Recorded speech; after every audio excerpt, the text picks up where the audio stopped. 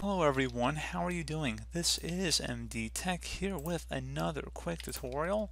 In today's tutorial, I'm going to show you how to resolve the error code message 0x800700780. The file cannot be accessed by the system. So this should hopefully be a fairly straightforward tutorial guys, and without further ado, let's go ahead and jump straight into it. So first thing you want to do is go ahead and open up the start menu type in disk cleanup. Best result should come back with disk cleanup. Go ahead and left click on that.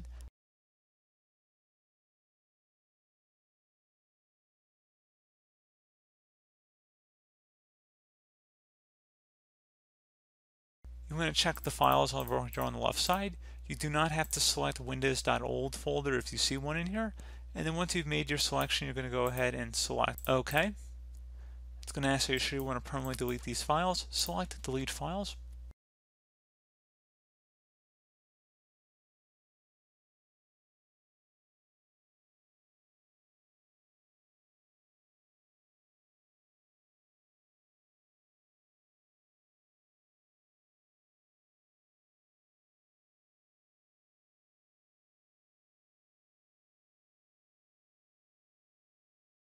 And once that is done, you're going to go ahead and open up the start menu, type in CMD. Best result should come back with command prompt. Go ahead and right click on that and select run as administrator. If you receive a user account control prompt, go ahead and select yes. Now I'm going to have two DISM commands in the description of my video. I want you guys to copy each one one at a time and just copy the first one. We're going to run it. So copy it to your clipboard and then go up to the top bar of the command prompt window here right click on it, select edit, and then select paste to paste it in. This will take a couple moments to run, so please be patient.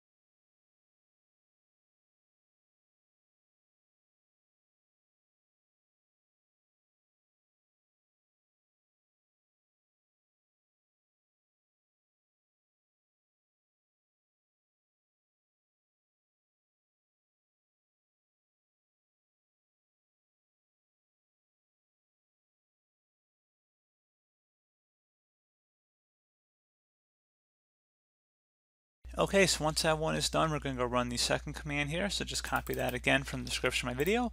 Top bar of the command prompt window, right click on it, select edit, and then select paste to paste it in. This will take another couple minutes to run, so please be patient.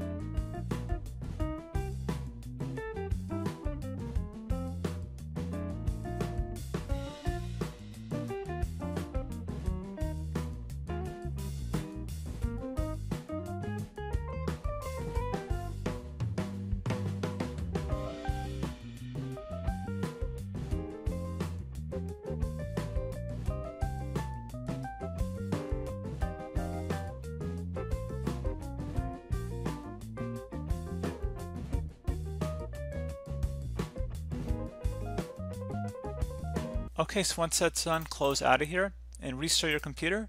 Save and close out of any open programs and applications before you do that, and go ahead and restart.